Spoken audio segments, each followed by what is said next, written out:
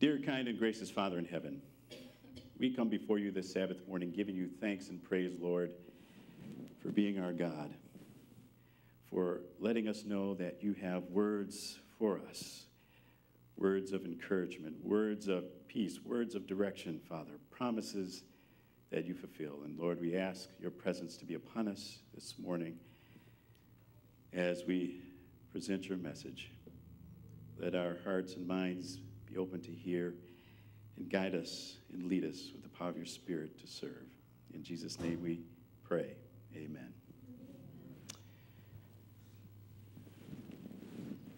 Well, kind of we'll start off with a story. Is that okay? A true story. Kind of happened many moons ago. And as I'm doing that, can I have a couple of the deacons come forward for me for a minute? I need some help. I will grab any deacon or anyone.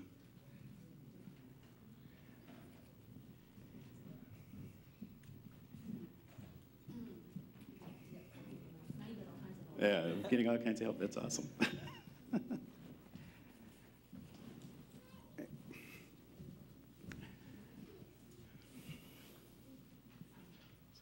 let's see. All right. So, kind of getting back to the story, many moons ago, true story, happened like this. At one point in time, I was in the United States Air Force. And when I was in the Air Force, we have this thing called basic training. Right? Basic training. And you might say, basic training, what is that? Well, let me put it this way. It's not so basic in the sense of, yeah, you're learning all kind of new things as far as military life, but it's also a time when they try to break you to see if you are good enough to be a part of the United States military. And so, of course, that not only means book work, but that means doing all kind of grueling physical activities, and on top of that, having to keep your barracks and your place where you slept and your locker clean. And you had to fold your underwear a certain way. So we had a lot of our other airmen starching underwear to make sure that they lined up, right? Now, of course, I didn't do that because I don't like that. But we had that happening. And so, during the military time, right, this basic training where you're running and stuff like that, they're trying to break you down. It's a grueling time. You're thinking, why did I make this choice? Kind of a thing. And then you start saying, Lord, did you want me to come here? And it's like, uh, you're, so you're all over the place. And then a couple of weeks in to the training process, to make it even better, I'm sitting there, and of course, at that particular time, we didn't have the cool thing that we have now today, which is the internet.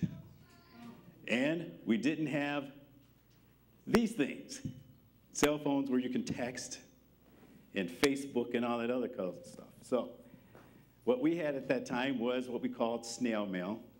And of course, we had to wait for letters to come, right? And so, of course, you know, you're hoping that grandma would send their favorite packages of goodies, right? Cakes, cookies, and things like that, um, and stuff. Well, at that particular time, two weeks into it, I got a letter. And it's what we call a Dear John letter. And if you're not sure what a Dear John letter is, let me put it this way. When I went into the service, right, right, I was uh, out of high school, went into college a little bit at U of M, decided to go into the military a little bit, and of course, you have a girlfriend, high school sweetheart saying, oh, this must be it, right? And one of the things, kind of a, a preface though, is, is that I think God told me something in a dream, but I didn't listen, right? But anyway, so girlfriend thinking everything's cool, dear John letter, right? But it didn't start off that way.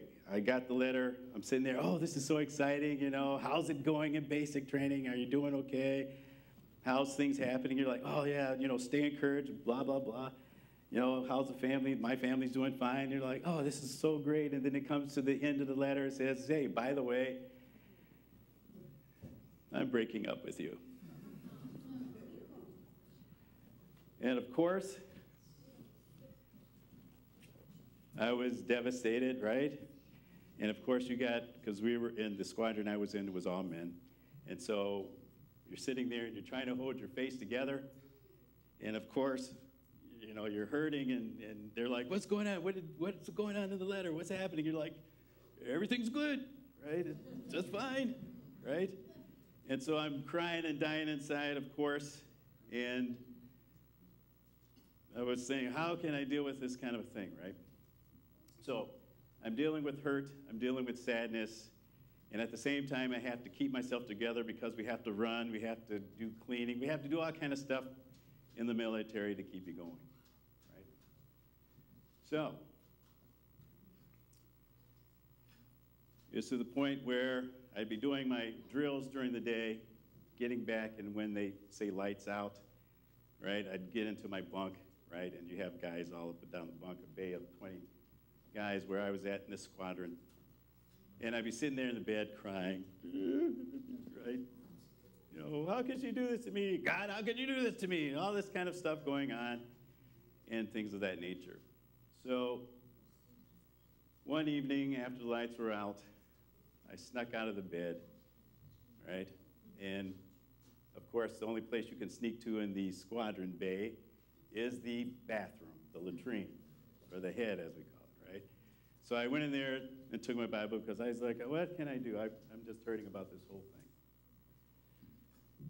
So I kind of had the Bible there as I was sitting. And you know how you kind of just open it, right?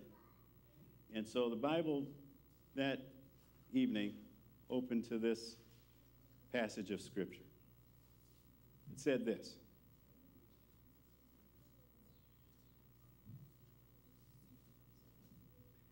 The Lord is my shepherd.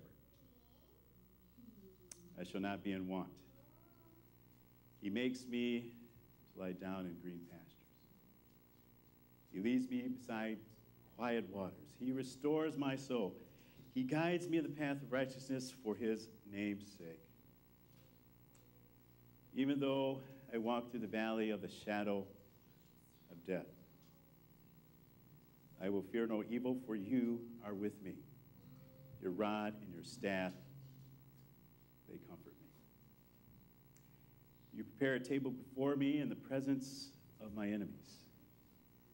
You anoint my head with oil. My cup overflows. Surely goodness and love will follow me all the days of my life. And I will dwell in the house the Lord forever.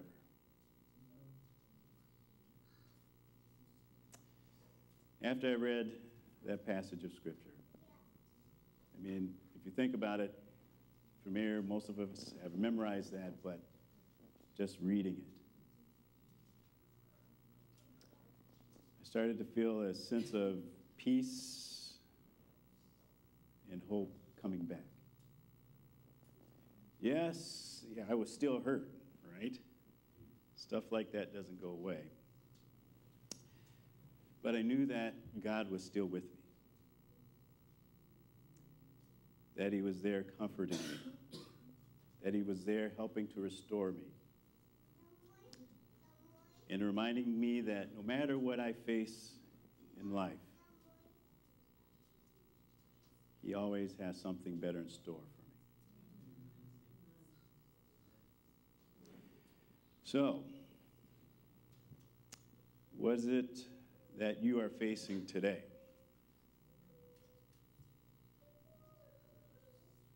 What is it that you're facing or in need of today? Is it forgiveness, healing, restoration, protection, dealing with fear, temptation, reassurance, What is it? Do you feel confused, unsure, hurt? Are you angry? Are you scared? Do you feel anxious? Do you have this sense of hopelessness or helplessness floating around? Or do you feel alone?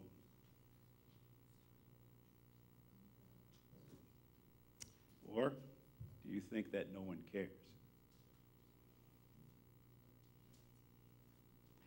Do you feel that sometimes that even praying doesn't give you any momentum or motivation? Well, when these moments seem to come up, when you seem to face them, whether it be for you or for me, it's sometimes good to remember to go back to what I call the basics. Go back to the basics. It's time to kind of go back and remember God's promises in His Word. Remembering promises that you found throughout your life that are very helpful, very restoring, very encouraging. Now, everybody's heard the word promises before, right?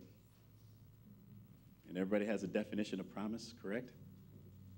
All right, well, let me give you an interesting definition of promise here. Basically, when we talk about promises here, we're talking about uh, statements that we tell other people um, of some kind of intent that we're going to do or something that is going to happen sometime in the future. Right? Is that about right when we talk about promises? When we make promises, I promise to, I promise to, right?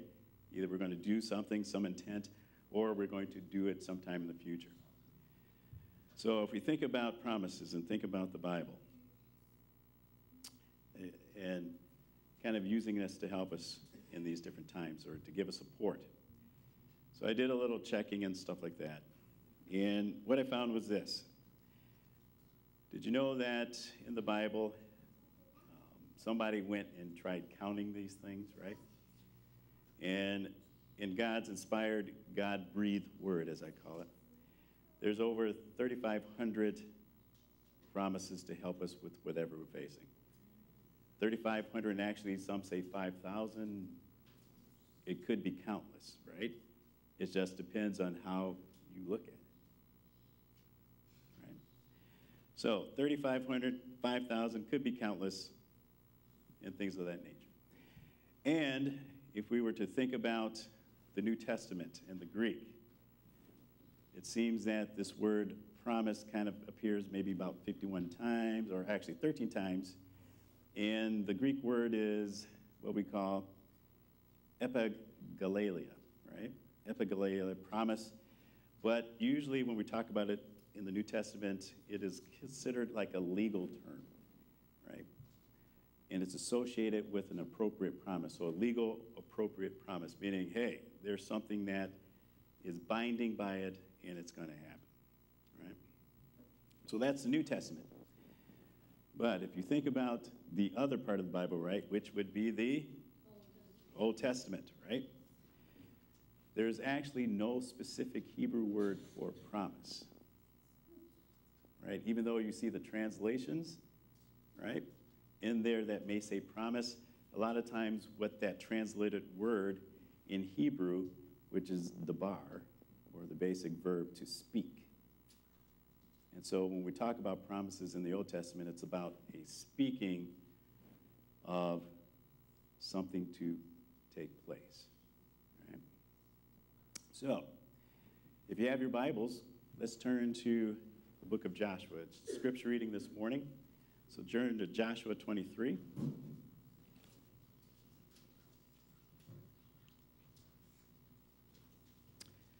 Joshua 23, and we're going to be going to verse 14.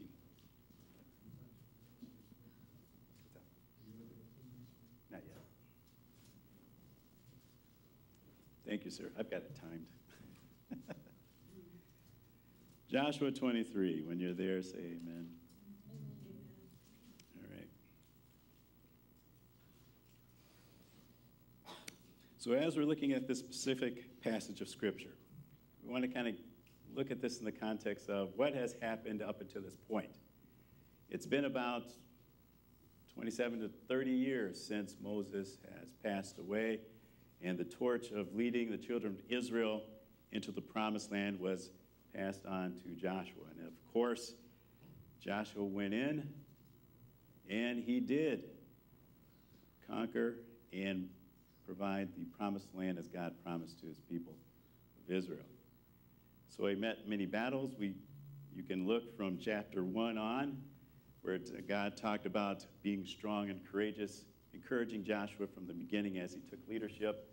Moving on to um, other areas where we talk about the Battle of Jericho, and then we move on to other kingdoms. And, and even in one of the chapters, it lists a lot of the kings that were defeated. And he even talks about the day that in the battle, Joshua prayed, and as he prayed to the Lord, holding the sun and the moon still so that their enemies could not escape. Right? All of these things have been taking place, and now Joshua, around maybe 110 or so, is now addressing the children of, or actually the leaders of Israel in his farewell address. Right? And so, if we were to look at this and what has gone on, during that time frame. Right? We're going to be looking at verse 14. But before we read that specific passage, each of you have been provided nice little handout. Is that right? Right. Now, I'm going to tell you what to do with it a little bit here in a moment. But if you look at that piece of handout, right? it has some common themes that we seem to kind of face, right? That we feel that we may need encouragement or some other things in our lives. And of course, you notice there are no scriptures there. And that was done on purpose. And on the back, you're going to find that it should say promise and nothing there, correct? Because you may say, you know, you know, Harvey may not have it all together right? And you might want to come up with your own stuff, right? So we'll tell you more about that here, what to do shortly. So, what I want to do is, as we go back to Joshua, we want to talk about the first promise that I want you to think about. Oh, I already read Psalms 23. Oh, okay. So, we'll go to the first promise here in Joshua. And we're going to read this here. Starting with verse 10 Now I am about to go the way of all the earth. You know with all your heart and soul that not one of all the good promises the Lord your God gave you has failed. And promises means what God has spoken has failed. But it also says every promise has been fulfilled, not one has failed. So think about this. God keeps his promises is the first promise. Sometimes take a look back on your life and reflect, just as Joshua did as he spoke to the leaders of Israel in his farewell address. Take a look at what's happened in your life. Yes, there should be ups and downs. You should have went left instead of right, all of those things. But what has God promised? to you? And how has He fulfilled them to you? Sometimes it's hard to see. But if you are still alive and here breathing today, is that not one of His promises? Right? So for Joshua, he looked back and reminded them what God has spoken has come to be. His promises fulfilled. And so we must think about that. Now, as we go from there, from Joshua, we're going to just jump around to a couple of promises that we want to take a moment to look at for a minute. So we're going to go on to this next one here. How many of us like to do this worry stuff? Worry, being anxious. You know, as a psychologist, you know we actually have a mental disorder that says excessive worrying, right? We call it, uh, it's kind of more pathological, right? Because you're worrying about everything. You know, worrying about, uh, you know, can I pay my bills? I mean, that's an okay thing, but it's not stopping there. It's like, oh, I'm going to worry about what they think about me. Oh, I'm going to worry about, you know, will the car start today? Oh, I got to worry about this. You're worried about everything, right? Feeling anxious about all kind of stuff, right? So there is a Bible promise for that. So why don't you take your Bibles for a moment, and uh, let's go to the most famous one here, Matthew chapter 6, right? Matthew 6, just for a moment.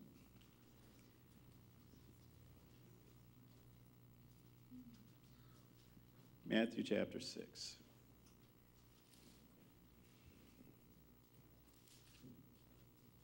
And starting at verse 5, I'm going to jump around a little bit. Jesus actually started off as he was teaching um, in conjunction with the Beatitudes there. He was talking about, therefore I tell you, do not worry about your life, what you will eat or drink, or about your body, what you will wear. Is not life more important than food and clothing? And he goes on, right? But then he points out something that I think we forget sometimes. If you look at verse 26, he says, Look at the birds of the air.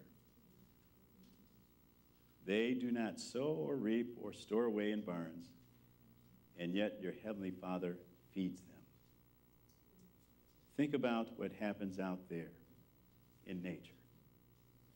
And if you think about some of the smallest birds, even that little hummingbird, that little cute little guy flipping around, God takes care of them. He feeds them.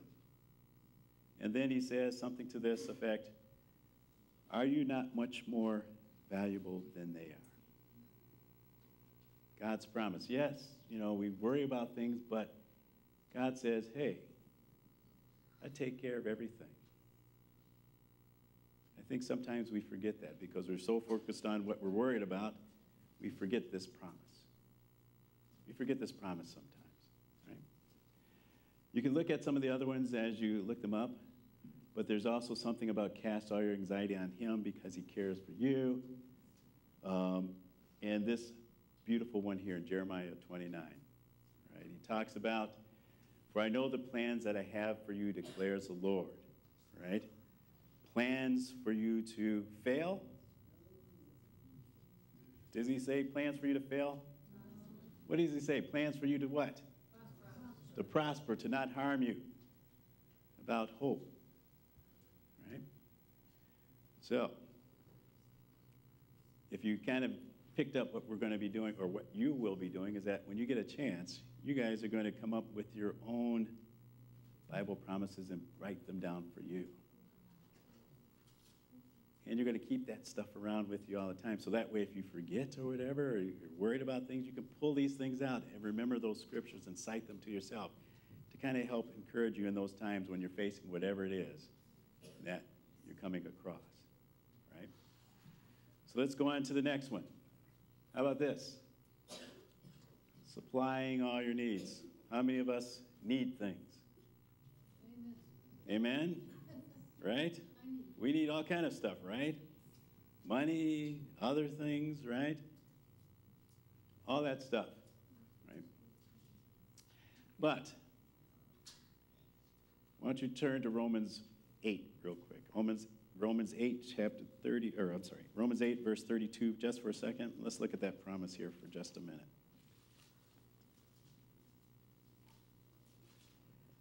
Romans 8, 32.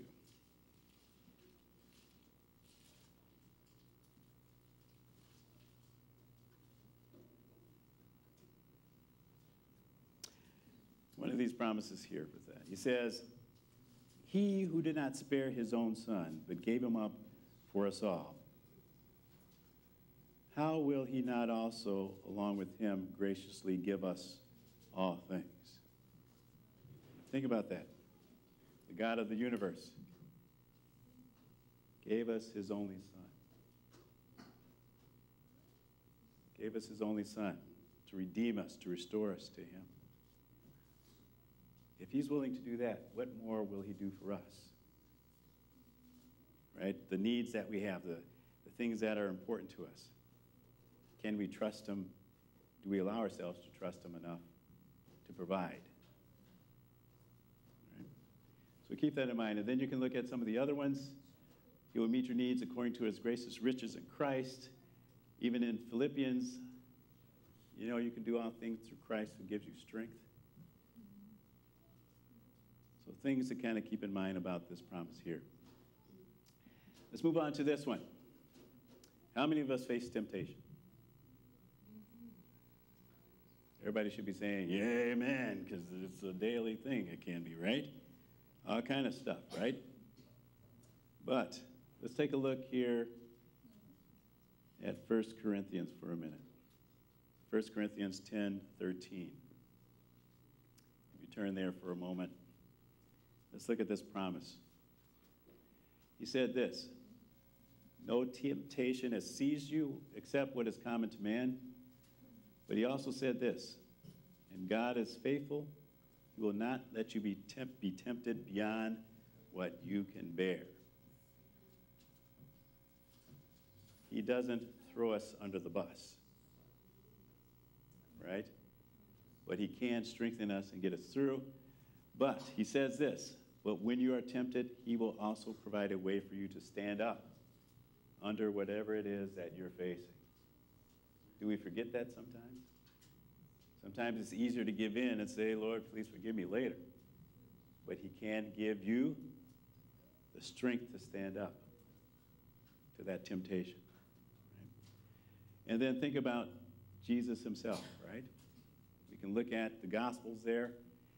Was Jesus also tempted? Bible says he was tempted just like we were, right? And he was able to overcome. And because of what he did, we can gather strength knowing that if Jesus can resist, can he give us the power to resist as well? Yes, he can. It's just we have to remember those kind of promises. Let's move on. Promises for forgiveness. Some of us, yes, we are tempted, and some of us give in. Is that right? We fail.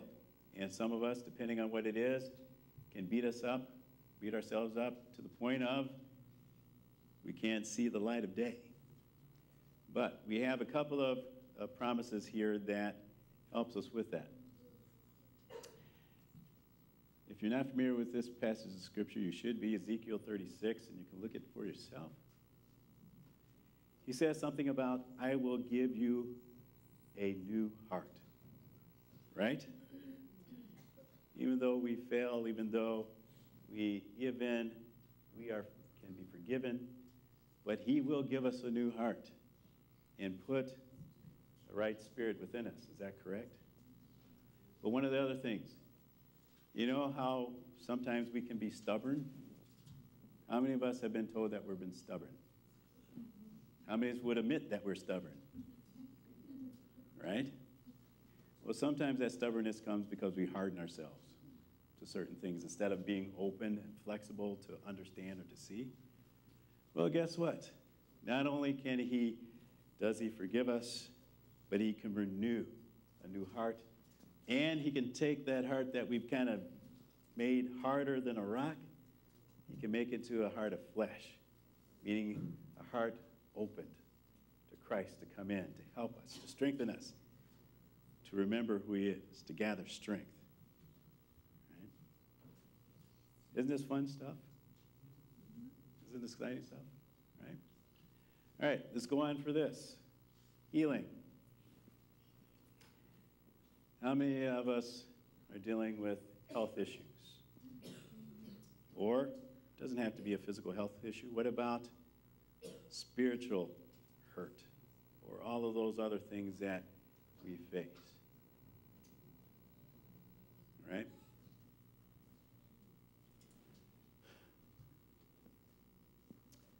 Sometimes this can be the toughest one, right? Because sometimes if you're dealing with a physical hurt, whatever it may be, it really hurts depending on the pain. correct? And sometimes you're focused so much on the pain, it's hard to see other things. It's hard to remember promises. It's hard to, to, to focus on Christ and, and these things. But he says something like this if you think about Jeremiah chapter 30, right? Jeremiah chapter 30. He says something like this I will restore your health and heal your wounds, declares the Lord. I will restore you. He says that. Sometimes it's hard for us to see it. Sometimes we might want it now. And I wish I could say sometimes for some of us that we would get it, but sometimes some of us don't. Does that mean that God has failed in his promises? No. For some of us, even in the hurt, we sometimes will fall asleep. But God is faithful to his promise that he will restore. Even if that means that restoration comes when Christ comes back, where we don't have to deal with it anymore, because now it's eradicated forever. Right? But he also says this Praise the Lord. If you look at Psalms 103, Oh, my soul, forget all, not his benefits, who provides forgiveness and heals us from all of our diseases. Again, a cool promise to latch on to when we're struggling with this stuff. And it can be spiritual health and things. Maybe you're saying, I need more strengthening spiritually. Well, this all applies to that. Yes? It doesn't always have to be a physical, it also can be spiritual in the struggles that we face. Right? So let's look at another promise. Let's look at how to deal with fear. How many of us are scared of some things? Let me put it this way if you've been looking out in the world today, right? Is it getting kind of scary out there? It's scary. Some crazy stuff is happening out there, all part of what's been prophesied, but it's still scary, right? When you look at it. But this here, Psalms 34. I sought the Lord, and he answered me. He delivered me from all my fears. And even in John, a peace I leave you, I do not give to you as the world gives. Do not let your hearts be troubled. Do not be afraid. Even Jesus' own words talks about do not give into the fear. But if you think about this, if you think about even stories of the Bible that can be used as promises. When Jesus was with his disciples, right? And this, they were on the sea, and all of this torment came about, and the waves were all over, and they thought they were going to die because it was just crazy. Jesus was on the back of the boat sleeping peacefully as this was going on. The disciples was running around. And they woke him up, Hey, Master, help us. We're going to perish if you don't do anything about this. And then what did Jesus do? He stood up. He said, raised his hands and said, Peace, be still. And what happened? The, the torment was gone. Sometimes remembering stories like that as a promise that whatever storm is raging in your life, Allow Jesus to be a part of being, saying, Peace, be still, and see what happens. See what happens. Then we have to talk about protection. Is that right?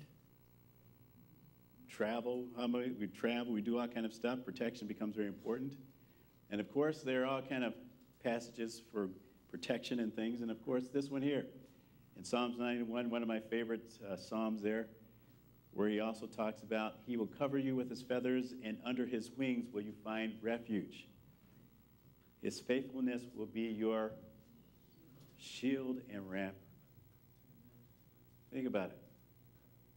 Did he not promise us and give us guardian angels to watch over us? Does he not look out for us? And just think about this, right? How many of us have been delayed traveling once in a while? Been delayed, and then all of a sudden you you know you're kind of upset because you're delayed, running late, and as you're going, you see this massive accident or some kind of bad thing that's happened, right?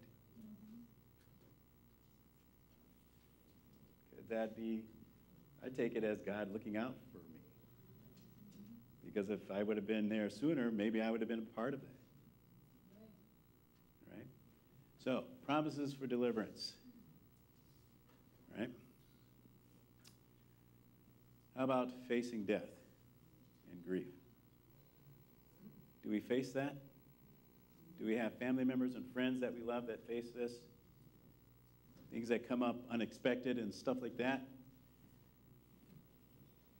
But if you haven't read this, well, we are, well, depending on who you are, most of us have read the story of Lazarus. Most of us remember the story of Lazarus. But sometimes it's good to go back and read Lazarus in John chapter 11, right? Jesus loved him very much. Of course, he passes away, right? He passes away. They finally get Jesus to, to come, and of course, he's pretty hurt by seeing his friend and Jesus cries himself, right? So not only when we face death and grief, he cries with us. But think about what else happened, right? Jesus said, Remove the stone, and then what? He said, Lazarus, come forth. And what happened? Did Lazarus stay in there? Did Lazarus not come out alive and restored? Yes. Demonstrating that he has the power over life and death. And there's something in Revelation, right? Revelation chapter 21. A promise that is to come. He says something like this After the new Jerusalem has come down, after Christ has come back, and he recreates a new heaven and a new earth. He says something about he will wipe every tear, right? Every tear from their eyes. There will be no more death. There will be no more mourning, crying, or pain, for the order of things of old have passed away. God has been faithful in the past. He's faithful now. He's faithful in the future. All that we see today and face with grief and death will be no more.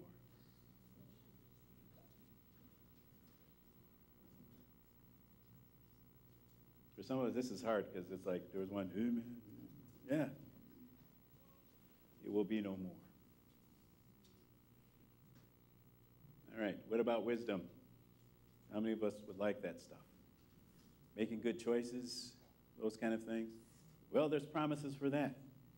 And of course, the good one, Proverbs chapter 3, verses 5 through 6, when he talks about trusting the Lord with all your heart, lean not unto your own understanding. Think about it. When we kind of do our own thing, we kind of get messed up, right? I'll admit it, yeah. Lean, instead of waiting on the Lord, it's like I do my own thing and then I'm in trouble, right? But if we acknowledge Him, He will guide our paths. He will make them straight. He will give us direction. That means, yes, we have to let go, right? And also in James, anybody who lacks wisdom, ask God, who gives. If you want it, ask it. right? How hard is that? But sometimes we have this thing called pride that gets in the way. Is that right? right? And let's look at one last one area here. How many of us, children?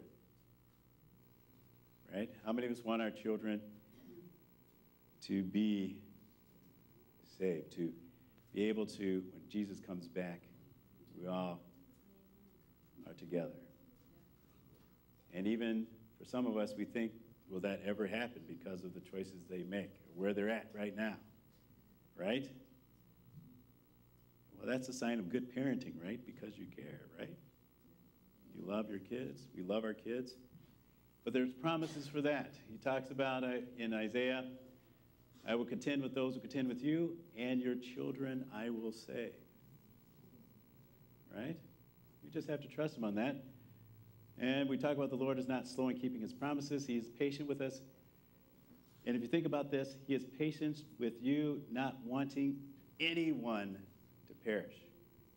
If we go back and look at 2 Peter, that passage of scripture, does he want everybody to he doesn't want anybody to lose out on the gift of eternal life, the gift of his son. He doesn't want that. And he does whatever he can to make this happen as much as he can, right? For everyone to come. Now, of course, we still have to make choices. But the thing is, he works overtime to try to fulfill that promise, and he does. But sometimes we have to remember that. Sometimes we have to remember that. So, if you have that sheet of paper, I encourage you, when you have a moment, take some time to write down one or two passages of Scripture that, for you, in those areas or other areas that you want to have, write those down for yourself.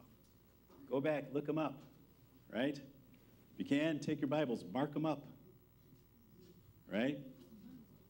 It's okay to highlight and mark marks in here helps you to remember where to find stuff, right? But give it a special color to say my promises or something to that effect, but write them down. And then with that piece of paper, keep it with you. So that way, if things come up, you can go to it. You can pull it up and say, I'm facing this. What did I have written down? And remember what it is and kind of cite it. And if you have a harder time, you heard of what we call post-it notes? You heard of post-its? You know, those sticky things? It's okay to write the verse down or write it down and post it somewhere, right? In a mirror. You could post all kind of stuff in the mirror because eventually we got to go to the mirror, right? You know, because we like to get ready for things, right? Well, right there in the mirror, you can see it, right? But post that around. Post it around to remember those promises to help guard you, to help strengthen you in things. And as we close this morning, I want you to think about John chapter 17. John chapter 17. It was in this passage of Scripture when Jesus was in the garden just before his crucifixion. And he did three things there. Because this is, a, for him, it was a scary time if you think about it. He knew what was going to happen, but it's still scary, still hurtful, that kind of stuff. And he did three things. He did, he prayed for himself to encourage him to be able to glorify his Father. Then he prayed for his disciples to give them power of His Spirit to be able to, to spread the word. But he also had a third part of his prayer. He prayed for each and every one of us. He prayed for each and every one of us. And I truly believe that he had our faces in his mind when he prayed that he thought about me, you, you, you, right there. Right there in the garden. Each and every one of us. Praying for us. To encourage us, for us to come to know him, to accept, to be a part of receiving his gift of salvation. And then, of course, after that, he was arrested, tried, and crucified. But it doesn't stop there. Because on the third day, he was resurrected. And now he intercedes on our behalf in the most holy place. So, take advantage of God's word, the promises that he's given to us. Thousands of them in there. But Find those that will help you. Back to the basics.